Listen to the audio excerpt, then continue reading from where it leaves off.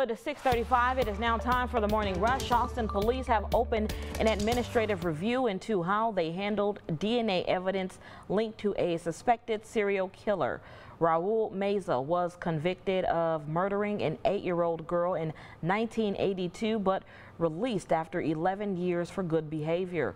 Police say he was arrested last week after he confessed to killing two other people, including a woman in 2019, where authorities performed a rape kit.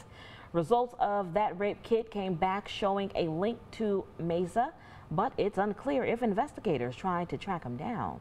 Right now, thousands of DACA recipients are waiting to hear if a federal judge in Houston considers the program legal. It's the second time this judge is deciding the case. Two years ago, he ruled DACA is unlawful, but the Biden administration submitted new DACA regulations. And the White House says President Biden is fine after falling on stage at the Air Force Academy graduation in Colorado.